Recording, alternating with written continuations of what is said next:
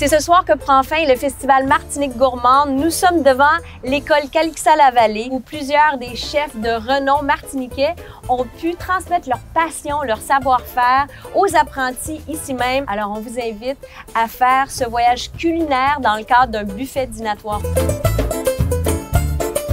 Parlez-moi de votre plat ce soir que vous nous avez préparé. On sera sur un plat qu'on connaît bien en Asie qui s'appelle le bao.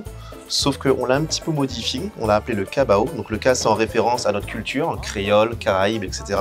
Donc c'est une petite brioche qui est cuite à la vapeur qu'on a réalisé maison. On a un poisson pané, donc on est en Martinique, on a du poisson de chez nous, mais là on a fait avec du poisson de chez vous. C'est quoi le poisson? On est sur de la sole, qui sera pané avec une chapelure au manioc. On aura des pickles de butternut, pickles de courgettes, une mayonnaise maison au citron, avec une petite sauce. Alors nous, on a le sirop de batterie qui provient de la fabrication du sirop de canne. Et ben, on a utilisé pour ici euh, du sirop d'érable. Donc c'est une sauce qui va réduire avec des épices, etc. Donc voilà, c'est un peu de la finger food, un peu de la street food que les gens vont pouvoir déguster comme ça avec les mains. Et est-ce que vous avez aimé euh, transmettre vos connaissances euh, aux chefs apprentis? Qu'est-ce que vous retenez de cette expérience? Ce qu'on retient, c'est ben, déjà, bon, on les sent vraiment très, euh, très curieux. Des fois, il faut leur expliquer ce que c'est que la Martinique, où c'est. Et on sent vraiment beaucoup de curiosité chez eux et puis l'envie d'apprendre. Et nous, ben, c'est un honneur pour nous, venant de, de notre petite île, de pouvoir ben, transmettre un peu de notre culture. Les chefs ils ont été très heureux de vous transmettre leur passion. Qu'est-ce que vous avez retenu de leur passage ici? Tout d'abord, je connaissais pas la nourriture martiniquaise, donc j'ai découvert ça. Découvert ben, les, les arômes. Ils ont apporté des épices que je connaissais pas, comme le colombo. Je connaissais pas ça. C'est euh, l'épice de chez eux. Donc, euh, apprendre à jouer avec des différentes épices que je connaissais pas, euh, des différents goûts aussi, des techniques aussi que je connaissais pas. Puis c'est à peu près ça. Rencontrer du nouveau monde.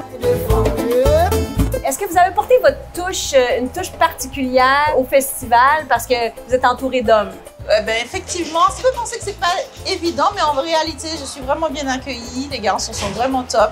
Je suis un peu, ah ouais, je suis un peu la maman du groupe là, donc euh, j'apporte la petite douceur, le petit réconfort. Ah. Et c'est vrai que bon, on est une équipe vraiment très soudée, très très solidaire, et puis on est heureux hein, d'être ici tout simplement. Alors ce soir, je vous prépare un colombo de poulet, donc c'est quand même un plat de caractère là, riche en épices, mais j'ai apporté la douceur avec le choix justement de légumes, un petit peu de lait de coco qui vont venir adoucir tout ça. Donc on est entre puissance euh, et saveur euh, chaude, mais avec la petite douceur des légumes.